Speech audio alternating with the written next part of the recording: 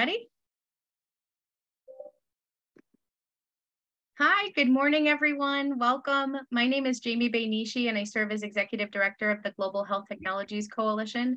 We're a group of over 40 nonprofit organizations, academic institutions, aligned businesses, and other coalitions that are really working hard to advance policy and advocacy related to global health R&D. How do we make sure that drugs, vaccines, diagnostics can reach every corner of the world into the lowest resource and lowest income um, part of, of the world. Um, we're really excited to be here today with colleagues from the US Centers for Disease Control and Prevention um, to talk about something we haven't had a chance to talk about with a lot of our friends in the global health community and the congressional community. Um, we've spent so much of the last two years talking about COVID. Um, we wanted to take this time to talk about something else, which is malaria and mosquito-borne diseases. Um, this is still an ongoing um, concern, both here in the United States and around the world. And we thought it would be useful to hear from our colleagues from CDC about the important work that they're doing advancing innovations in the global mosquito control vector-borne space. Um, First of all, as we get into the program, just to note, we are recording this session. We realize that some folks are out on summer holiday and we don't want them to miss this important update. So we're recording so we can share it with other, other colleagues after today. Um, I will encourage you who are here live on the line to go ahead and introduce yourselves in the chat and where you're coming from, um, your name and, and, organizational affiliation or the congressional office you work with. Um, I also want to extend a huge thanks to Karen Goraleski and the American Society of Tropical Medicine and Hygiene who have partnered with GHTC on today's event. And you'll be hearing from Karen just briefly at the very end of today's program and also to welcome our colleagues from CDC dialing in from Atlanta, but also from Colorado. Um, we've got Dr. Ben Beard, Deputy Director of the Division of Vector-Borne from the National Center for Emerging and Zoonotic Infectious Diseases. Welcome. And one of my colleagues will put his bio in the chat. Um, also, Dr. Audrey Lenhart, Chief at the Entomology Branch of the Division of Parasitic Diseases and Malaria from the Center for Global Health um, welcome. And again, her, her bio will be posted in the chat. We want to dive right into the conversation today. Um, just again, conversation is recorded. If you're participating, this is not in, in a webinar format because we want to have an interactive conversation today. So what we'll be doing in terms of our or sort of order of the program, we'll be hearing some updates and a little bit of history from our CDC colleagues first. And then we'll be switching the second half of the meeting to a more interactive dialogue. For the first half of the meeting, please do stay on mute. Um, we will get to you if you have questions or comments. Um, we'll tackle those the second half of this session. Um, and when we get to that point, I'll give some additional cues on sort of uh, asking questions and, and how to do that. Um, in the meantime, you'll see a little bit of a presentation and see your speakers. So hopefully if you look in the top right corner of your uh, of your Zoom function, you'll see a side-by-side -side gallery. I recommend you look at the event in that format. That way you can see our speakers in small boxes, but you can see their presentation in a large box. Um, so with that, I'm gonna turn things over to our CDC colleagues. Welcome. Thanks, Jamie. Can you hear me okay? Loud and clear, thanks. That's fine. Okay, great. Well, um, good morning or good afternoon, wherever you're calling in from. Uh, just to uh, kick it off, I think probably everyone has been bitten at some time by a mosquito, tick, or flea, which we refer to collectively as vectors. Uh, vector-borne disease has actually been around for thousands of years, and many of you would recall the Black Death, or the disease we call plague. Um, other diseases like heartland and bourbon virus diseases, which are carried by ticks, uh, have only been recently discovered. Vector-borne diseases account for more than 17% of all infectious diseases globally and cause more than 700,000 deaths each year worldwide. Vector-borne diseases affect nearly every region of the planet. Commerce moves mosquitoes, ticks, and fleas around the world, and infected travelers can introduce uh, and spread pathogens, the pathogens that these vectors carry. Mosquitoes actually are the deadliest animal in the world. They cause hundreds of thousands of deaths per year. In 2020, malaria alone caused an estimated 627,000 deaths worldwide. And yellow fever virus causes an estimated 200,000 cases of disease and um, estimated 30,000 deaths each year. For most viruses spread by mosquitoes, there are no vaccines and uh, often very few medicines that are available to treat patients when they're sick. More than 800,000 cases of vector-borne diseases were reported in the US between 2004 and 2019. The number of cases of mosquito and tick and flea-borne diseases more than doubled over this period of time. And actually, the reported data substantially underestimates the total number of cases that occur. Have we lost the slides or are we okay? We have lost the slides. Did we lose Lee? Oh, there he is. Okay, we should be on slide five. Is that correct? Um, so we, we have public health tools to prevent and control the diseases that are caused by vectors like mosquitoes. And uh, the impact of diseases on human health often depends on our ability to expand technology, to apply, improve, and evaluate these tools from the local level up. Next slide. Mosquito-borne diseases that can cause human fatalities globally include malaria, which you'll hear much more about in a few minutes, yellow fever, dengue, chikungunya, and Zika, which you might remember from the global outbreak that we had just a few years ago. Climate change potentially affects vector-borne disease emergence. Um, it will likely change the geographic and seasonal occurrence of both the vectors and the diseases that they carry. It will likely cause earlier seasonal activity and a more northward expansion of ticks and the, and the diseases they, that they carry, which are diseases like Lyme disease, uh, Powassan virus, encephalitis, and Rocky Mountain spotted fever. Rising temperatures, changing rainfall patterns, and increases in some extreme weather events will likely affect the distribution, abundance, and the infection rates in the mosquitoes that carry West Nile virus and other pathogens as well. And then finally, vector-borne pathogens will likely emerge or reemerge due to the interactions of climate factors with many other drivers, such as changing land use patterns.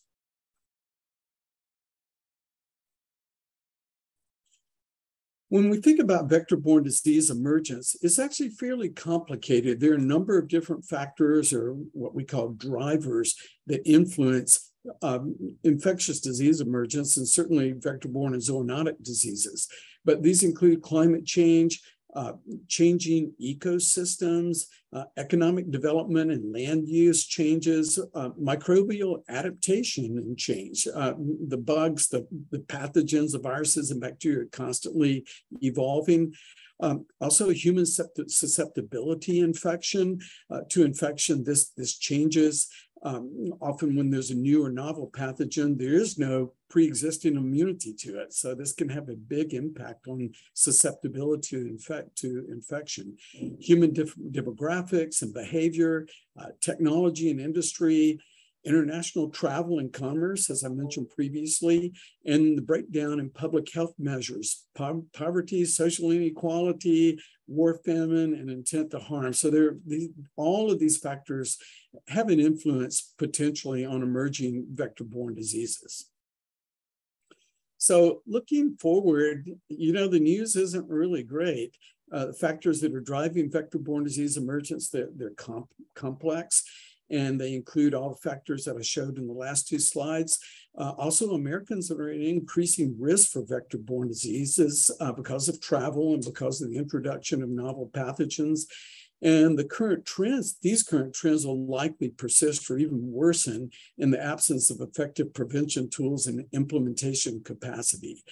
And um, certainly it remains uncertain how much um, uh, climate change, uh, you know, will have an impact on the emergence of vector-borne diseases and how it will interact with these other factors. So there's a lot of uh, uncertainty. So for those of us who work in the world of vector-borne disease, it probably means job security for us, but it's not such great news otherwise. So that's one of the reasons it's such a high priority to us here at CDC. And I'll pass it over to Audrey. Great, thanks, Ben.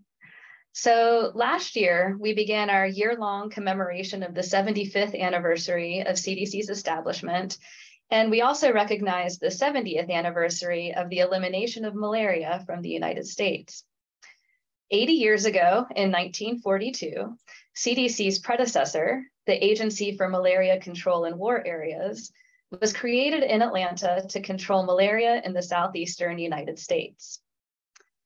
Malaria control in those days largely consisted of training local health department officials, insecticide spraying, occasionally from aircrafts, and draining water from mosquito breeding sites, sometimes with dynamite. These efforts proved to be quite successful, and by 1951, malaria was declared eliminated from the United States. In the years that followed CDC's founding in 1946, our focus began to shift to surveillance of malaria within the US and to assistance in the worldwide efforts to eliminate or control malaria in countries where it remained endemic. Today, 75 years later, our mission endures. CDC works 24 7 to prevent and control deadly diseases, both domestically and abroad. However, we no longer rely so much on dynamite. We still monitor trends of malaria in the US to detect outbreaks or upticks, and routinely see approximately 2,000 travel related cases per year. The number of malaria cases diagnosed domestically has been increasing since the mid 1970s, corresponding to the increase in international travel, particularly to places with malaria. Right before COVID started, we saw the highest number of malaria cases in 45 years. And we still take a leading role in global efforts to reduce the burden of malaria. We look back and marvel, really, dynamite to fight malaria? However, 75 years from now, we may look back on our current bag of tools and feel similarly bemused. We must continue to evolve. However, some fundamentals of mosquito control have not changed. Our entomologists still spend hours in the field employing basic techniques to collect mosquitoes, and insecticide spraying still an important and effective intervention. But what we can accomplish in our labs has developed dramatically over the last decade. Today, we're an international leader in research and innovation, not just for malaria, but also for other diseases spread by ticks, flies, bugs, worms, and mosquitoes. Diseases like Chagas disease, trachoma, onchocerciasis, lymphatic filariasis, and guinea worm disease. We help states, American territories, and partner countries improve surveillance efforts, ramp up lab capacity, enhance mosquito or vector control, and manage cases better. For example, through a project called VecNet, CDC is partnering with regional public health entomology networks to improve how regions around the world effectively prevent, detect, and respond to vector-borne disease threats. By strengthening entomological laboratory capacity, network partners will be able to detect emerging threats more rapidly and mitigate their impacts. A critical asset to our public health mission is our gold standard global reference insectary, which helps support scientists and mosquito research efforts across the country and the world. It provides a platform for innovative research so we know what works against mosquitoes and allows us to study mosquito biology and behavior. The tools we use today have evolved alongside technological breakthroughs and in response to evolutions of the threat posed by parasites and or mosquitoes and other vectors. For example, the experts in our Atlanta insectary and in the field around the world have recently helped to evaluate the new RTSS malaria vaccine. Last October, after decades of work, WHO formally recommended the new RTSS malaria vaccine for broader use among children in sub-Saharan Africa and in other regions with moderate to high malaria transmission. This is the first time ever that a vaccine has been recommended to prevent malaria and is actually the first vaccine ever for a parasitic disease. CDC's malaria researchers have been instrumental in this major achievement. As plans begin to move forward with expansion of RTSS, it's important to remember that this intervention is not a silver bullet. it must be used in combination with other existing and new interventions, including the tools that stop mosquito bites from happening in the first place. These are the tools I'm focusing on today. Mosquito control interventions are estimated to account for 70% of the impact we've seen in reducing malaria burden. But increasing global intensity of vector control has led to widespread increases in insecticide resistance, which threatens our current batch of tools.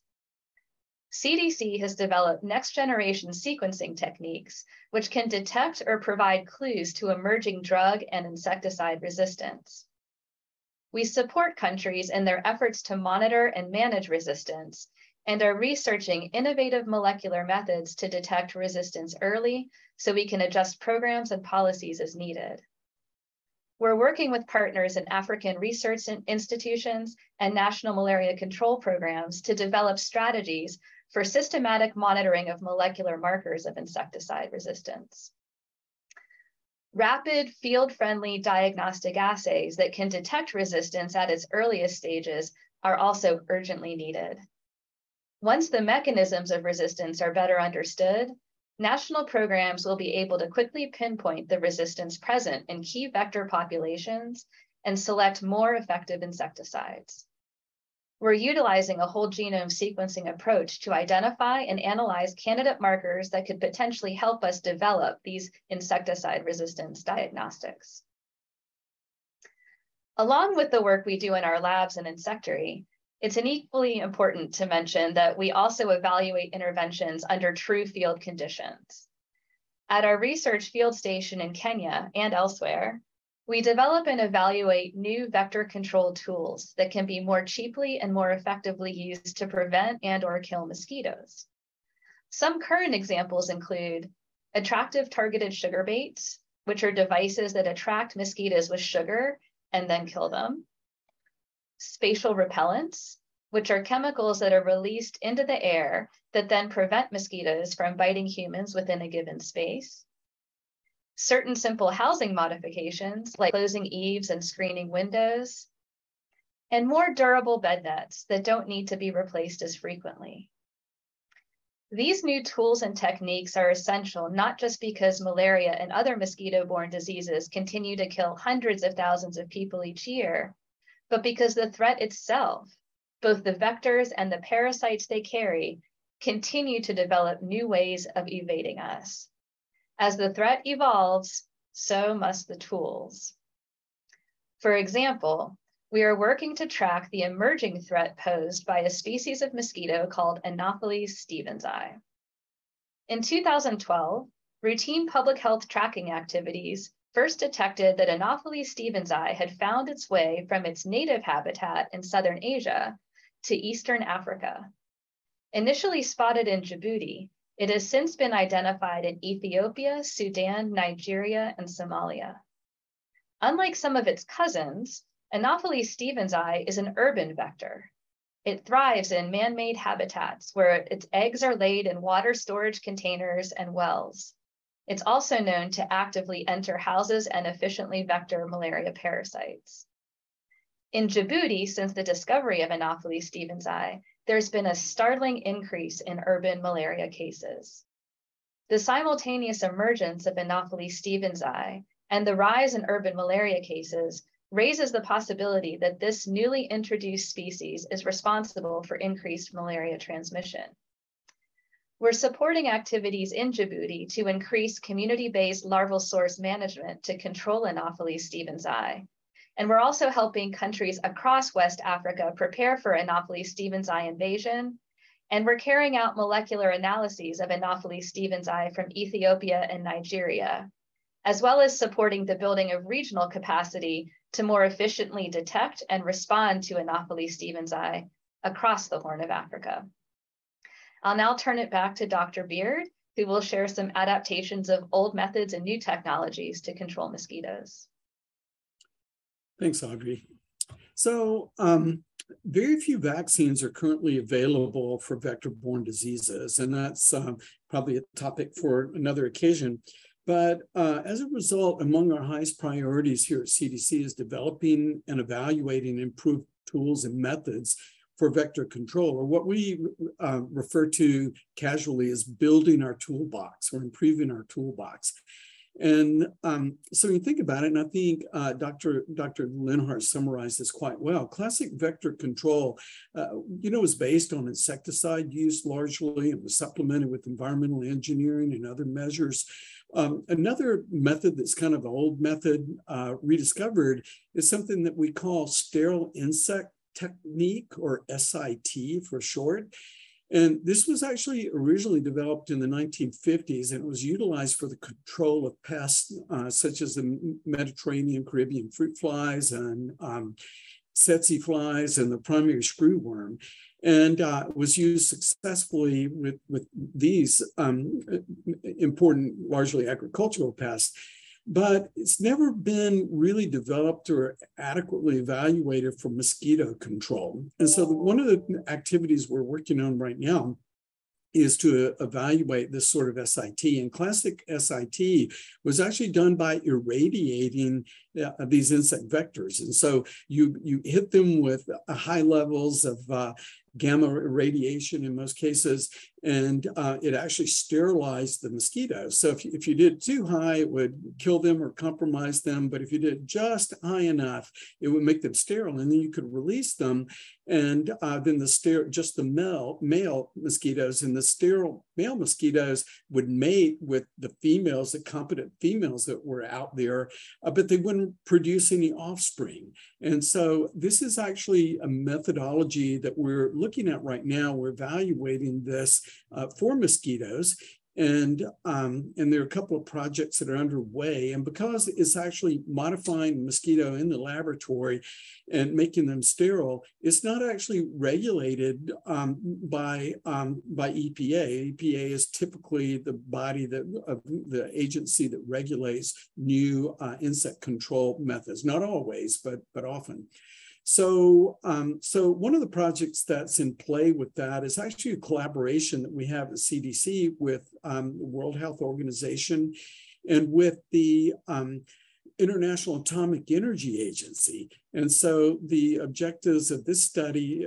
um, is to um, to produce sterile mosquitoes, in this case, Aedes aegypti. And uh, Aedes aegypti is a very important vector of diseases. It's classically called the yellow fever mosquito. It also carries chikungunya, it carries Zika, it carries uh, dengue virus. And so it's a very important, probably one of the most important uh, vector species in the world, together with the Anopheles mosquitoes that carry malaria.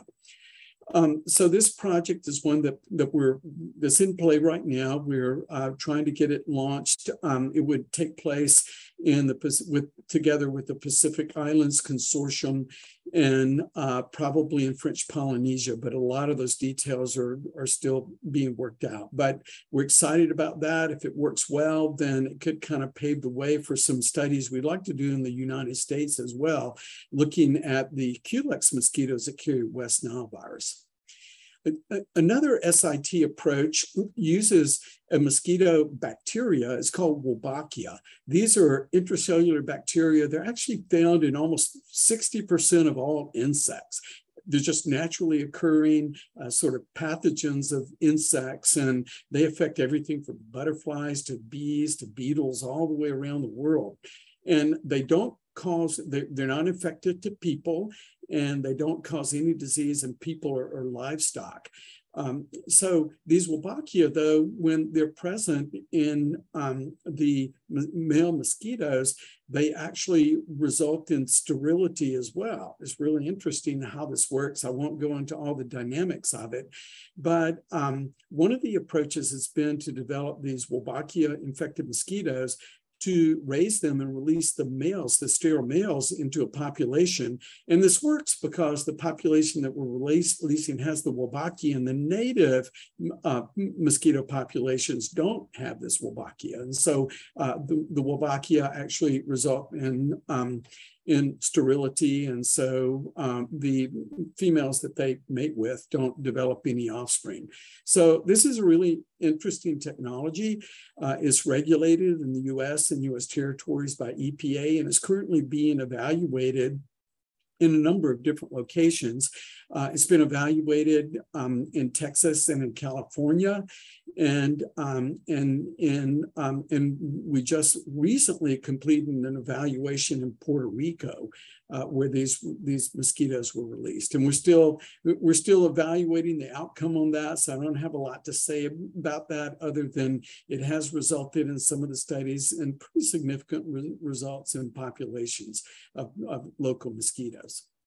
So the, the sort of third approach for SIT actually relies on genetically modifying the mosquitoes. And so in this case, the, the mosquitoes are modified so that they, that they are sterile. and the, in this case, again, the male mosquitoes are released and um, and and since the males don't reproduce, uh, the genetically engineered mosquito doesn't persist in the environment. They mate and die, and then the female mosquitoes that they mate, mate with are sterile. So they don't produce, or, or, at least they don't produce any viable offspring. And so in this case, um, this, this is a technology that's been developed, has been is regulated by uh, EPA. And um, this has been utilized in a couple of different locations in Florida and in Texas and um, they're being evaluated for future use. And in fact, we have a study that we're getting ready to launch. It's in the uh, Republic of the Marshall Islands, and we're doing this collaboratively with uh, PIHOA, the Pacific Islands Health Officers Association. And so this would involve actually the release of these um, um, or genetically modified mosquitoes uh, for uh, as a SIT approach in, in these areas. And so currently in the in Marshall Islands, and so currently the status of that is that um, we're working together with um, with the regular with the um, local ministries of health and the other uh, um, stakeholders in in um, in the area because these are local decisions that have to be made to deploy any sorts of uh, novel technology like this. And we work to facilitate this with um, local governments and regulatory agencies. We're, so we're excited about that. And hopefully we'll have uh, good news to share from that in the near future. And then the last method that I'll mention also involves Wolbachia, but, but different from the approach before. It's what we call um, Wolbachia replacement versus Wolbachia sterile insect technique. So it's a really interesting phenomenon. Uh, there's a particular Wolbachia strain, and when it's introduced into mosquitoes, it actually blocks the mosquito's ability to transmit some very important viruses, uh, such as yellow fever, dengue, uh, Zika, uh, chikungunya as well.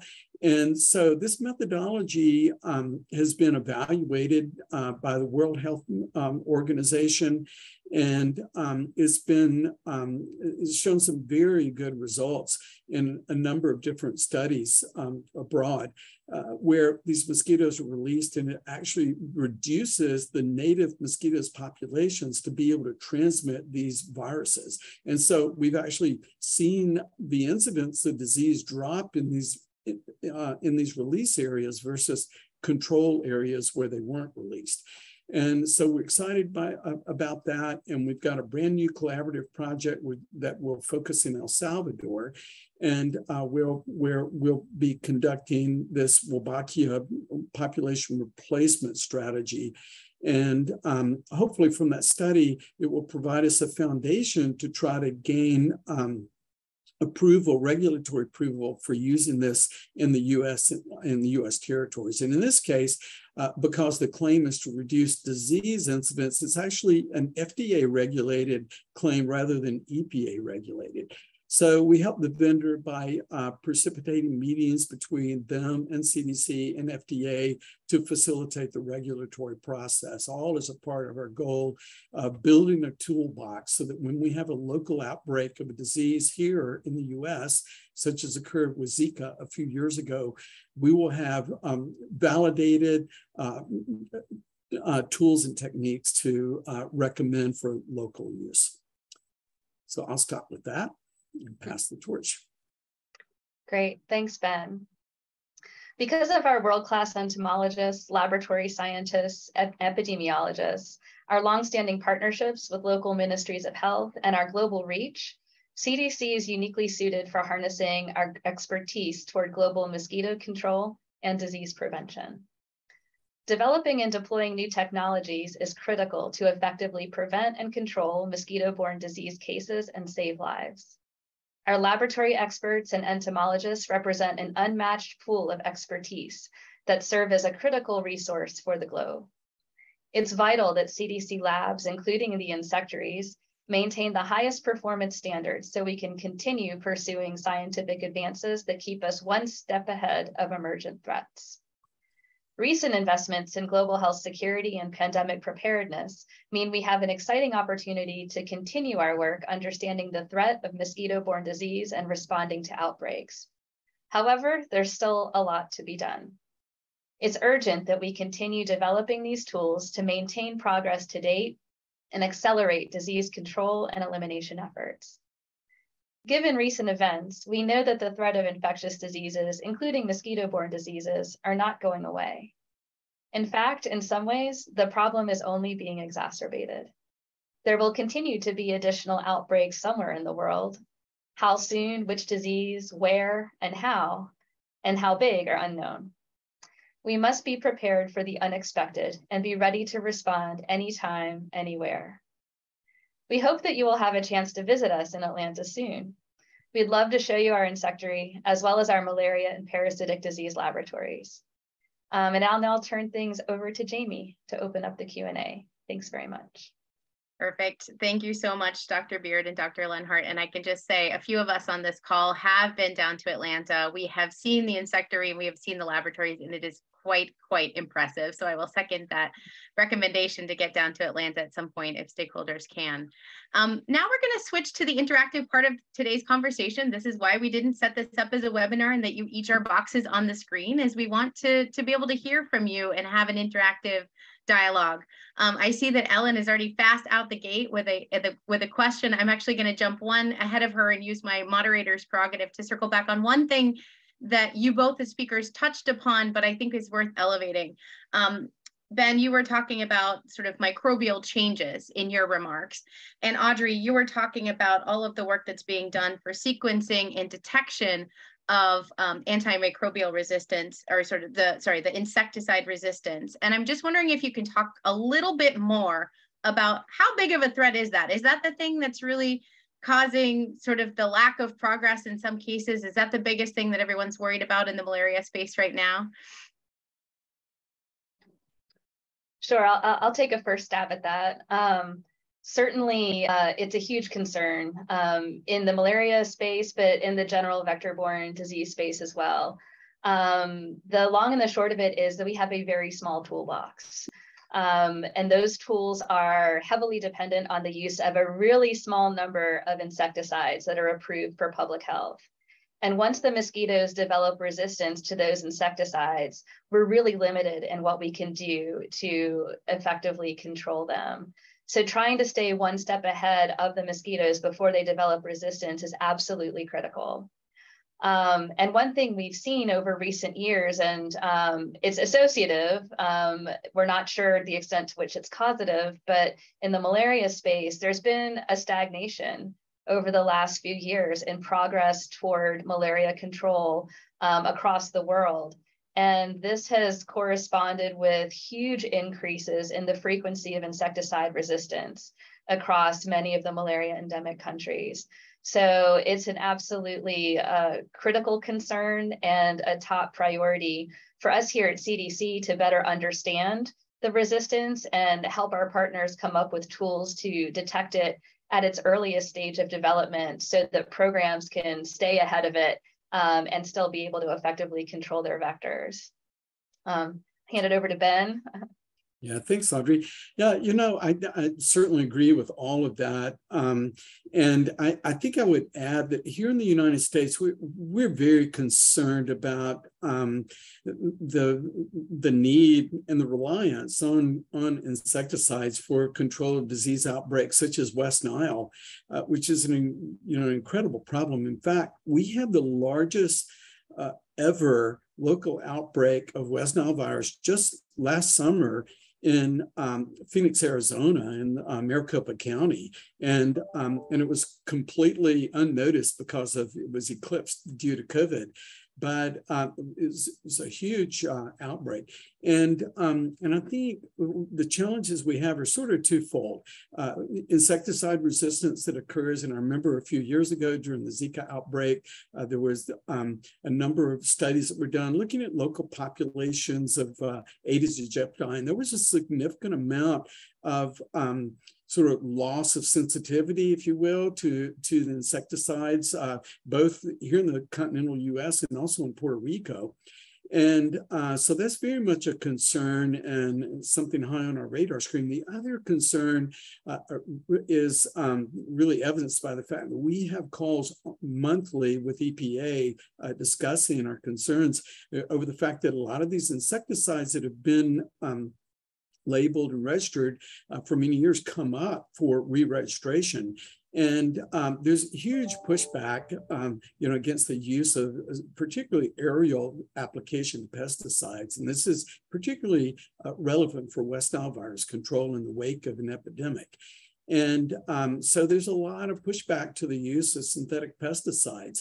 And, um, and I think because of that, uh, we're concerned, um, you know, that that there is good information, and I think that what we would say at CDC is that these pesticides, when they're used according to the EPA label, they're safe and effective, and so we support them, and we work uh, hand in hand with EPA on uh, maintaining, uh, you know, a tight watch on this and giving heed to um, the concerns that people mention, uh, but also, uh, you know, watching out for doing doing what we can to communicate um, the appropriate use and judicious use of pesticides when they're needed.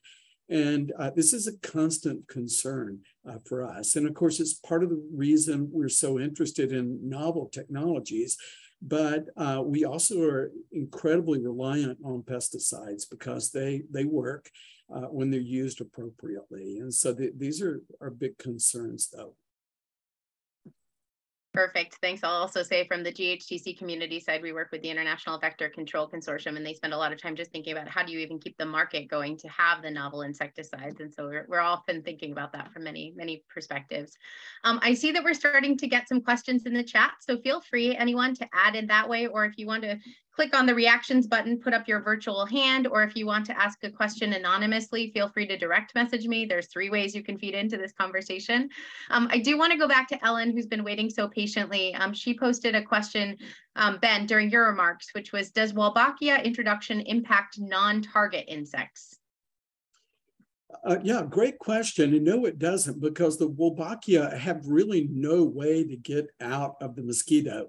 They're in, uh, they're introduced into the mosquitoes. Uh, they actually the Wolbachia they used in mosquitoes were introduced originally from Drosophila, the fruit fly, and so they came from Drosophila where they're natively there, and then they were introduced by injection into the mosquitoes. And then the way they spread is actually through mating. I mean, you can almost think of it as a mosquito STD. You know, they, they mate and there's this incompatibility that occurs in the mating process. And so the eggs don't develop and uh, but because male mosquitoes don't mate with other insects of other species and the in the female nor, nor the females as well it's just in that one species of that one mosquito where it was introduced. So so it's a, a really nice technology and it's actually been around for for many many years. I worked on wolbachia when i was a phd student at university of florida back in the uh, in the uh, 80s. So it's, it's, a method that's been around for a long time, but it's just now kind of hitting prime time, if you will. Perfect, thanks. Um, I'm going to switch to hands up. I see Jody, you've got your hands raised. Yeah, great. Hi, Jamie, and, and thank you um, for the great presentation. And it's really nice to hear all these things succinctly uh, laid out. I'm a, a, bit of a budget geek, if you will. So I just wanted to a um, acknowledge that the president included an increase in his budget for the division of, of um, parasitic diseases and malaria, and um, that Congress has has been upping the budget slowly um, after it's been stagnant for a number of years. I'm just, um, can you talk a little bit about either however you want to talk about it, but you know what what more uh, funding would allow you to do, or or what lack of funding might allow you might make you not be able to do, whichever whichever frame you'd like to use there, or both if you'd like. Sure. Yeah. So the proposed increase would allow our division to make some pretty uh, urgently needed improvements to our parasitic disease laboratory, um, but also across the malaria and entomology laboratories as well. Um, and it would allow us to further advance the activities that we have on global control and elimination of malaria, and then some of the targeted NTDs that, that fall under um, the purview of our division. Um, and I think really critically from the entomology perspective, um, our division would be able to respond to some of the emergent threats like um, Anopheles stephensi and insecticide resistance um, in a more enduring way um, with, uh, with that kind of um, support. Um, we'd also want to invest in some new testing platforms and next gen sequencing um, in the entomology space, but then also across the parasitic disease space for um, diagnostics and improved um, ability to respond to outbreaks. And yeah, I think just keeping our reference diagnostic capacity up to date to make sure that the services that we can provide to states and countries and other USG agencies and public health partners remains um, at the global gold standard that it currently is. Great. Thanks for that. Perfect. I'm going to switch back to um, the chat. We've got a question from Carl. Do we study the ecological consequences of SIT approaches?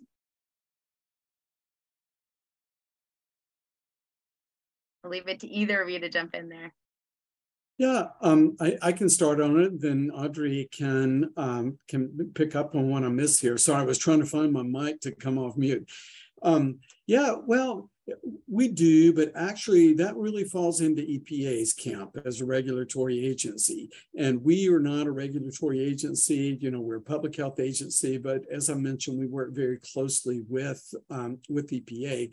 You know, I, I can speak though, um, just by saying that, that we are concerned about, we're concerned about the ecological impacts of any of the interventions that we use, the non-target effects of, um, uh, of insecticides and non-target effects of uh, all of these approaches, and they're very, very important. Um, the nice thing about Wolbachia is, as I mentioned, they don't naturally jump between species. And because they're, they're sort of spread just through this mating process, through a female that has them passes it through their offspring. And um, so, and they've been around, as I mentioned, they're in approximately 60% of all uh, insect and arthropod uh, taxa right now, taxa groups of, of species.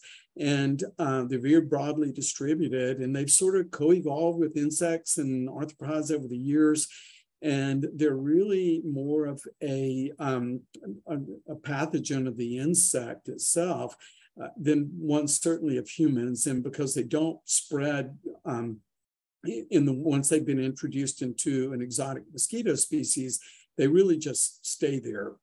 and um, so, so yeah, I can just stop with that. And maybe Audrey wants to uh, um, add something to that. Over.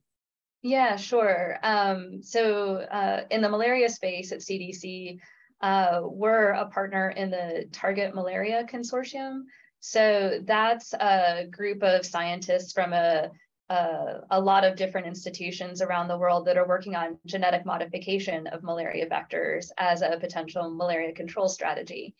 And our specific role within that is really looking at some of these gene drive mosquito strains to see um, how they might differ from wild mosquito strains with respect to insecticide resistance, with respect to their ability to vector parasites or viruses. So we're trying to understand if there are potential ecological consequences from that perspective with some of the genetically modified SIT approaches that, um, that are being studied for malaria vectors specifically. Um, so far, the preliminary data suggests that they behave pretty similarly to their wild type counterparts, but again, that's that's a key role that the um, scientists here um, in our branch are contributing to. Great, thanks. Another question here, I'm, I'm going to add to it because I'm thinking about the title of today's meeting, which is from TNT to ITNs. Um, and a few folks are asking me before the meeting today, what does TNT stand for? What's that clinical term? And I said, I think it means dynamite, right? Uh, the, the technologies have evolved so much over time. Um, and part of the, the theme of your presentation was also thinking about the global aspect and how you're supporting capacity strengthening um, of countries outside of the US who are working on, on vector control. And I'm just wondering if you can speak any more to sort of what you're doing, how you're doing that work on the ground in countries. Obviously, I don't think you're teaching people how to use dynamite anymore. Um, so what does that look like in the current in the current times? Um, I'll go first and then I'll, I'll hand it over to Ben. So um, one of our projects, which I mentioned, is this uh, VecNet project, which actually is in collaboration with our colleagues in Fort Collins in Ben's division. So it's a cross CDC initiative of all of us entomologists working across uh, vectors where we're supporting our colleagues uh, in different regions of the world in their public health entomology networks. So for instance, we're supporting uh, six networks now in Central America, the Caribbean, West Africa, the Horn of Africa, Southeast Asia, and the Pacific. And within each of those networks, there's some really region specific priorities. And that's been the real um, rich opportunity here to, to be able to work with our country partners and help focus in on what their top priorities are in their regions for vector surveillance and vector control and be able to provide some support to allow them to um, further develop their capacities to uh, detect and respond to vector-borne disease threats uh, uh, better. Um, so that really relies on you know the the technical capacities the breadth and the scope of that that we have here at cdc which cuts across pretty much every vector-borne disease you can think of and it's been a really rich opportunity for us to work um, across uh, CDC, across the, the two divisions that really house the entomologists here. So really we, we try to um, focus our technical assistance on what the region specific needs are through that particular project.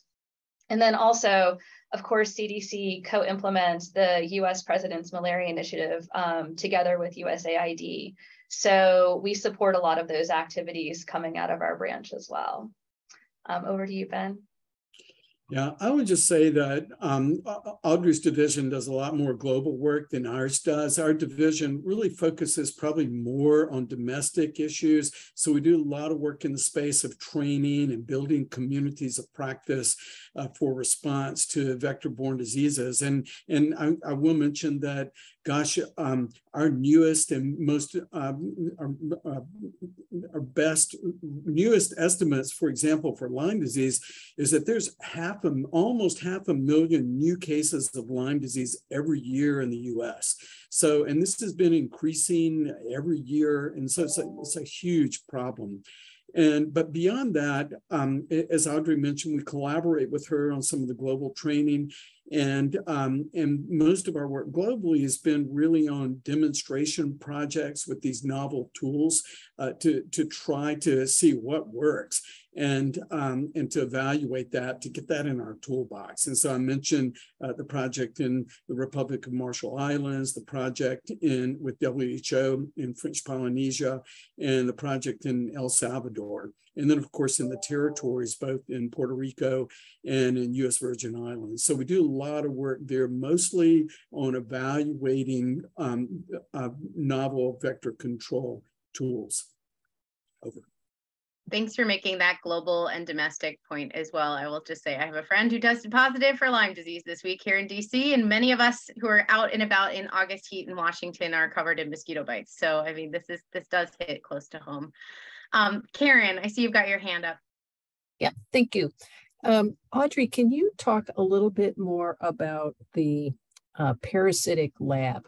Um, speaking of, of domestic and global uh, interactions, I know that this lab is the go, the single go-to source for those around the world uh, with questions. Can you talk a little bit about that? Because I think that is uh, one of the many hidden gems of CDC. Absolutely. Yeah. I mean, it's really um, certainly a, a, tremendously important domestic resource for the diagnosis of parasitic disease within the US, but also it is globally recognized and technical assistance is routinely sought from our experts in our parasitic disease laboratory from across the world. Um, there's just decades of experience on very obscure parasites that um, you know, we house here and um, very few other places in the world have that expertise. So it's, it's a hugely valuable resource and one that um, we would love to continue to, to build and continue to be able to provide those really important um, consults to, to clinicians and to, to other folks out there that um, need that type of technical assistance. So yes, we're very proud of that resource.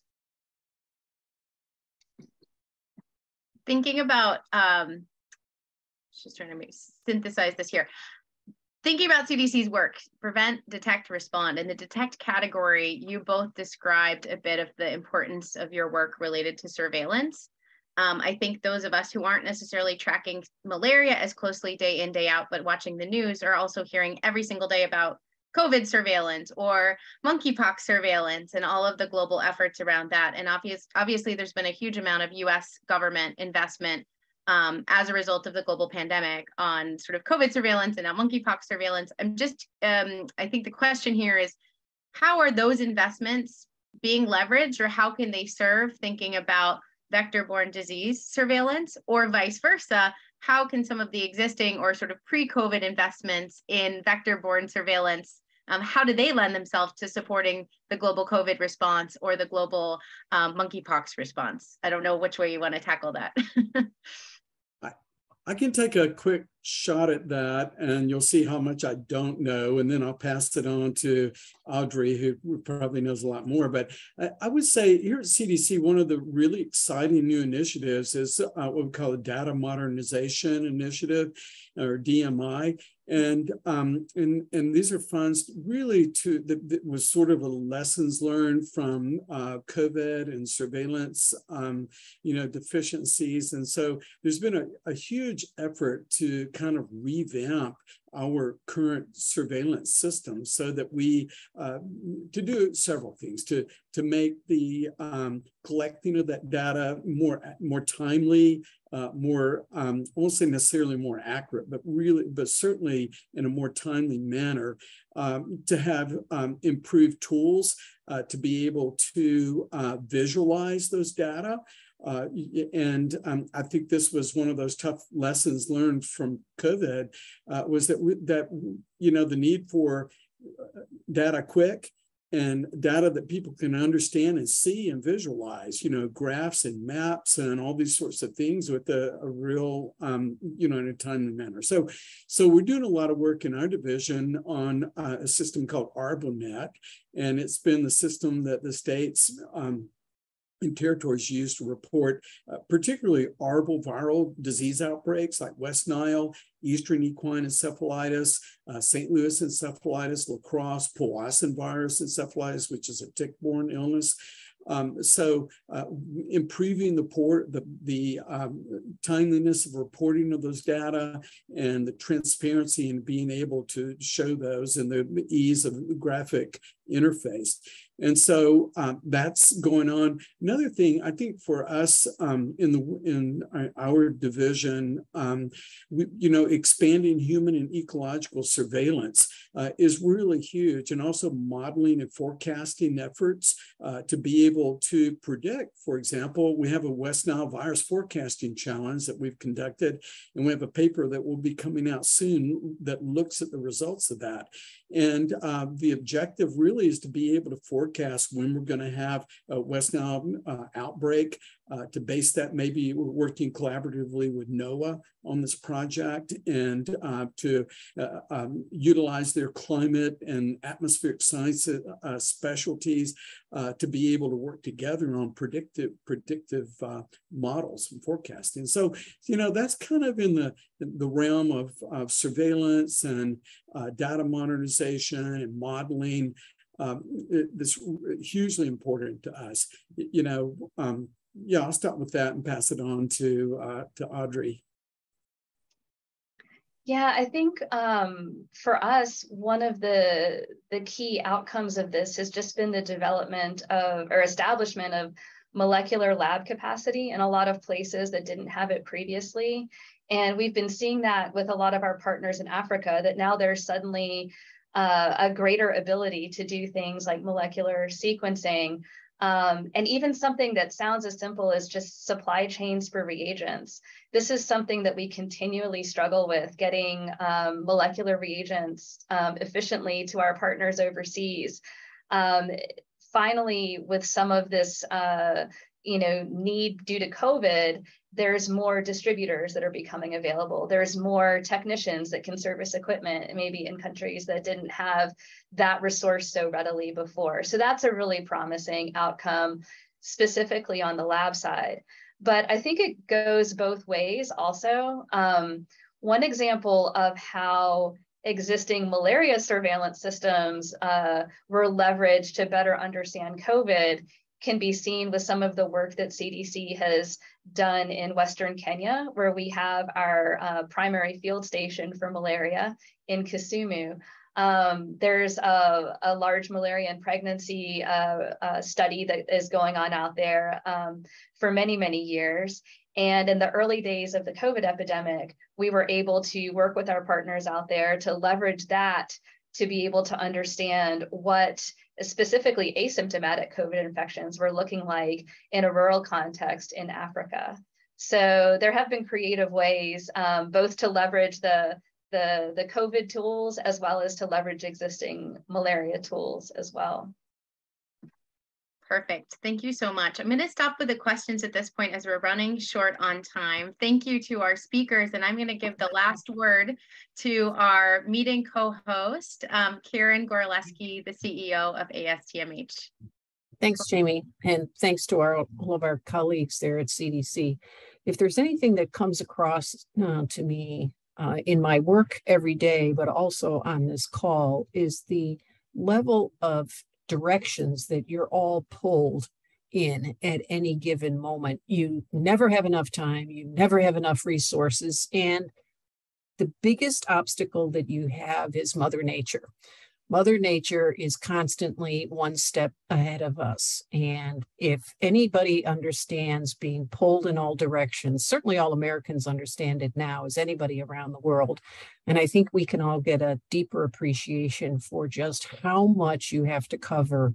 And I'm so grateful. I think we all are. First, that there's people that like bugs this much to be able to dedicate their lives to them and that you're fascinated, but you're also driven by the fact that you want to eliminate uh, disease and sickness and illness.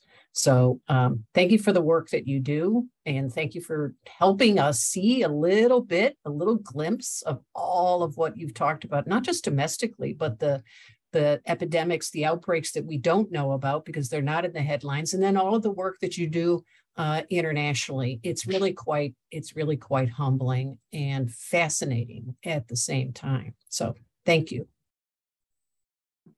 Thanks, Karen. And I just I think I'll add to that that you know we have a lot of non-malaria and non-vector-borne disease folks on this call. This is more of a Mhm. generalist audience, and there may be some follow-up questions. So just an offer by GHTC and ASTMH that if there are follow-up questions from our audience that we didn't get to today, something you wake up at three in the morning thinking about following this presentation, um, we're happy to get you connected with colleagues at CDC. And just reiterating, huge thanks for taking the time out of your busy schedule, CDC colleagues, both to the speakers and to the broader team who've supported this conversation.